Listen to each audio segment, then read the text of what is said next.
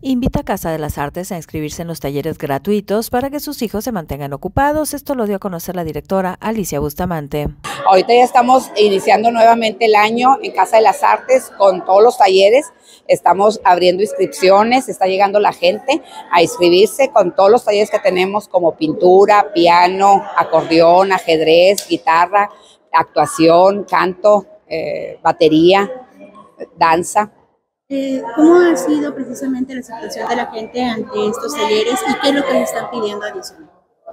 Bueno, pues eh, la gente ha tenido, ha habido muy buena respuesta. Hoy te están acudiendo los padres de familia. Ayer precisamente llegaban las, eh, algunos padres a inscribir a sus hijos a estos talleres, pues ya con la intención de que se ocupen en algo, ¿verdad? Y aprovechando que estos talleres son gratuitos. Noticieros Rancherita del Aire, siempre líderes.